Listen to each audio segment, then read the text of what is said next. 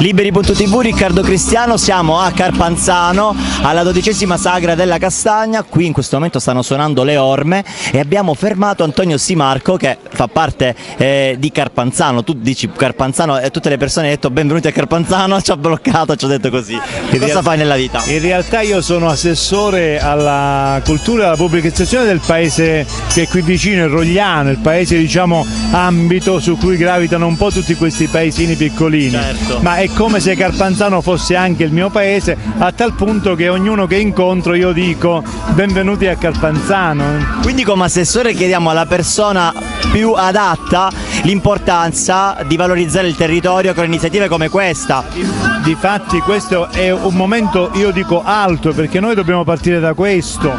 Questi piccoli paesini hanno la possibilità di farsi conoscere proprio attraverso questi momenti che sono veramente di spessore, perché ci riportano indietro nel tempo, ci fanno assaporare il gusto della memoria storica, della tradizione e anche dell'aspetto enogastronomico. Tra l'altro abbiamo ah, visto oggi come si lavorava un tempo la castagna, Eh, ci sono state le scuole ah, proprio di Rogliano tra l'altro eh, e abbiamo potuto apprezzare l'esperienza di tre persone anziane che ci hanno raccontato non solo la storia ma di come si viveva con la castagna e che la castagna ha fatto crescere il territorio e di come sia importante riprendere la lavorazione della castagna per valorizzare di nuovo magari Carpanzano e le zone limitrofe.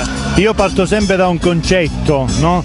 che per un buon futuro bisogna avere la consapevolezza del passato, ritornare indietro e capire veramente quello che hanno fatto gli altri e dare rilievo soprattutto alla materia prima che abbiamo e noi dobbiamo ripartire proprio da questo. Carpanzano appunto per anni ci sta dando la possibilità di entrare in, in un mondo che insomma ci riporta nella civiltà contadina da dove veniamo, no? Certo. E per- altrimenti queste cose si perdono, invece appunto come dicevi tu, stamattina ci sono state le scuole, i ragazzi hanno potuto constatare e vedere appunto come si facevano tante cose che adesso non si fanno più.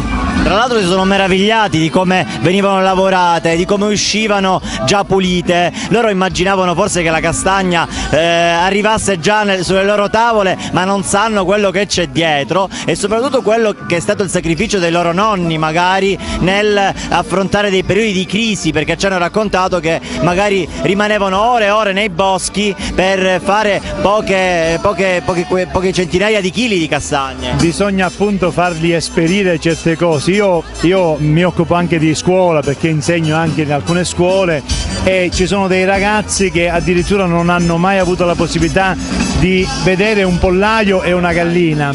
Quindi immaginate un po' dove siamo, parlo di città ovviamente. Per cui queste attività che sono le attività sulle quali siamo vissuti, insomma, è il nostro passato che ci- ci- ci- ci trasmette diciamo, al futuro, sono importanti perché ci fanno capire effettivamente su che cosa dobbiamo lavorare.